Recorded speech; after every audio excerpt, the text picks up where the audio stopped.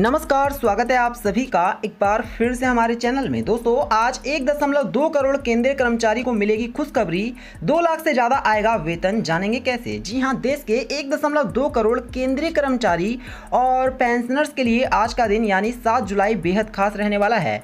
ऐसा इसलिए क्योंकि आज कैबिनेट बैठक होने वाली है। महँगाई भत्ते और महँगाई राहत पर कैबिनेट की आखिरी मुहर आज लग सकती है। डीए और डीआर के अलावा जुलाई और अगस्त दो महीने के एरियर पर भी फैसला हो सकता है। अगर ऐसा होता है तो केंद्र सरकार के कर्मचारियों की सितंबर की सैलरी बम्पर बढ़ोतरी होगी।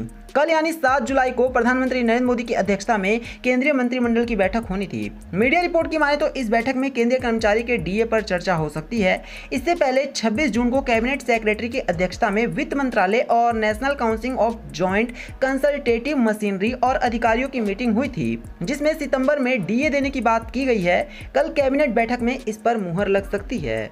National Council of Joint Consultative Machinery केंद्र सरकार के कर्मचारियों की संस्था है। केंद्र सरकार के कर्मचारियों के डीए की तीन किस्तें मिलनी बाकी हैं। कोरोना महामारी के कारण सरकार ने डीए फ्रीज कर रखा था। साथ ही पूर्व कर्मचारियों के डीआर की किस्तों का भुगतान भी नहीं हुआ।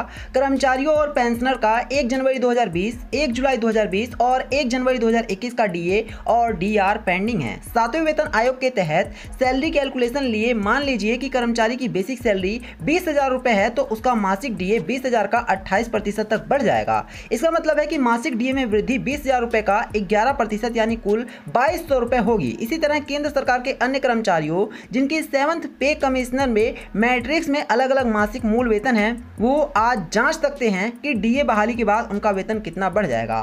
तो साफ़ है दोस्तों कि आज कर्मचारियों को एक बड़ी खुशखबरी मिलने वाली है, जिससे कर्मचारी काफ़ी उत्साहित हैं। तो यही था वीडियो में। वीडियो को लाइक करना, इसे शेयर करना और चैनल को सब्सक्राइब करना। धन्यवाद।